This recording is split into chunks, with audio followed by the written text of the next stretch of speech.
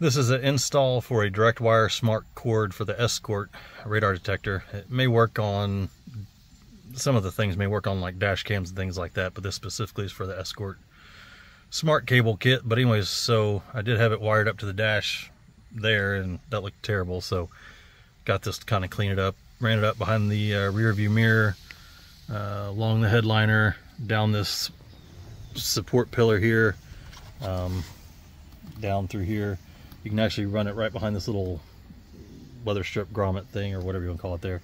Pretty easily and it runs up under the dash. And then I'll show you wiring here in a minute that's going to be lovely but there it is. It just powers on with the truck.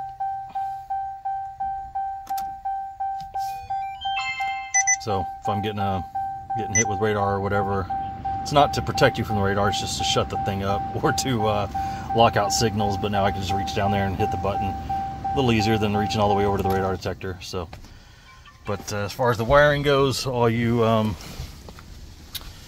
yeah, all you wiring people, just keep your eyes closed because this is not lovely. But ran it up under the dash. Let me see. Ran it to the fuse panel that is under here. I don't know if we can see it. There you go. So almost right behind the um, hood release.